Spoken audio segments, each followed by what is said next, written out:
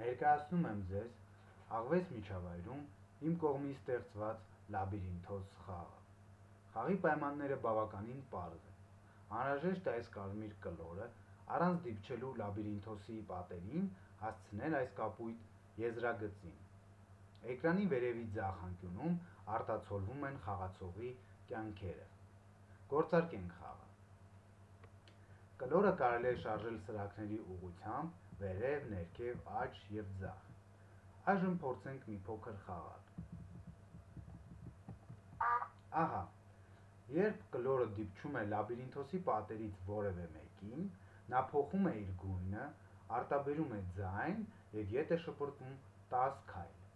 Այս ամենը կատարվում է, որպեսզի խաղացողին իմաստ տրվի, որ նա դիպչել է լաբիրինթոսի պատերին եւ նրա կյանքերը քչացել են մեկով։ Շարունակենք խաղը դիպչելով լաբիրինթոսի պատերին։ Ահա։ Երբ վերջանում է նախատեսված բոլոր 3 կյանքերը, մեզ գալիս է հաղորդագրություն, որ մենք պարտվել ենք։ Փորձենք նորից խաղալ։ Այս անգամ փորձենք չդիպչել լաբիրինթոսի պատերին եւ հասնել նպատակակետին։ Խնայելով ձեր ժամանակը, ես կլորը տեղափոխեցի ավելի մոտիկ դեպի եզրագիծը։ Հիմա փորձենք հասնել նրան։ Ահա, եթե մենք մեր հաշվին ունենք առնվազն գոնե 1 կյանք եւ հասնում ենք եզրագծին,